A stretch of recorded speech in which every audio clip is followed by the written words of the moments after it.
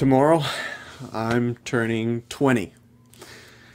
And, you know, I think it goes back to when I was younger. You think of what you are going to be doing at certain ages in your life, experiences you will hope to had, things you've hoped to accomplish. And, but yet when you're young, I don't know, when even thinking about being 14 years old, thinking about being 20, uh, I remember guys in my life that were 20 years old, older friends, and there's just like, wow, that's so much older. And I can't imagine what I'll be doing. But now I know what I'm doing at 20. And honestly, I'm scared. honestly, um, 20, 20, I don't know, it marks kind of uh, a step into, I don't know, I, you know, I'm already an adult, but at the same time, being 20, it seems to have that much more pressure to it. But at the same time, I feel inadequate. Um, people often ask me and they give me questions saying, you know, how do you how, how do you become so passionate about sharing the gospel and how do you uh, you know how are you so have have so much zeal um, in your faith? And honestly, it's not always like that. I don't feel always like I'm ready to take on the world with God and I'm just ready to share the message and like and you know and do all this great stuff and just you know go for it and just trust in God and that kind of thing. A lot of the times I just feel like what am I doing? What is going on? I'm scared. Like I don't I don't have these tools. I don't have these skills. I don't have these talents. I don't I, like have this stuff. But at the same time, I know God's put me where He's put me for a reason. And that's what I tell people is like, God's got you where He's got you for a reason. And yeah, you're inadequate. Yeah, you don't have all the tools necessary. Because if you had everything you needed in and of yourself, you'd never you never pray. You never even think about God because you got it. You're you know, but that's not where we're at. And when we can come to terms with that, and me, I'm coming to terms with that continually, and just saying, you know what? yeah, I feel inadequate. Yeah, I feel scared.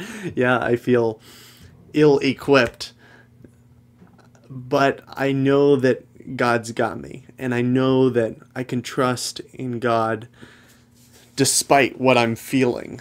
And, you know, there's a lot of things that I hope to do and there's a lot of dreams that I have.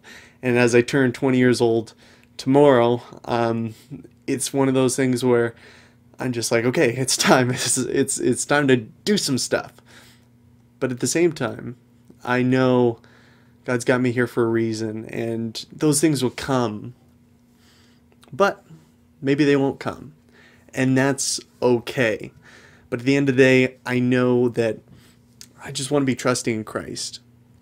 And I know I don't have everything I need. I'm not totally equipped to do everything I want to do.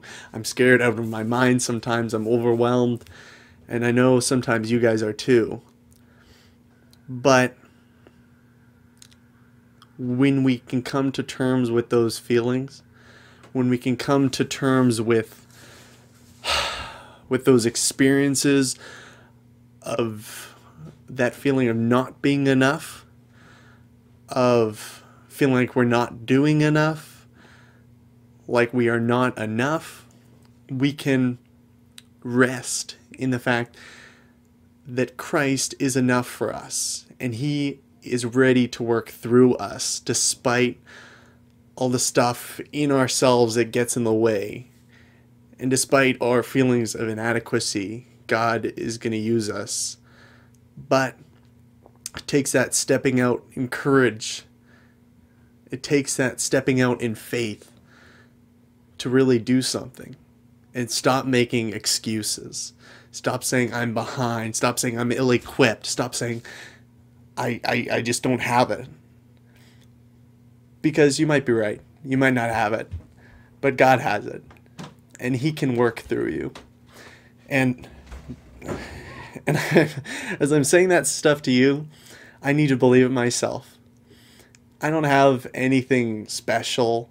I don't have any unique crazy gifting that is just, you know, out of this world. I'm not a genius. I'm not a. But I'm me. and at the end of the day, that's what you got to give to God. You got to give God you. And that's all He asked for.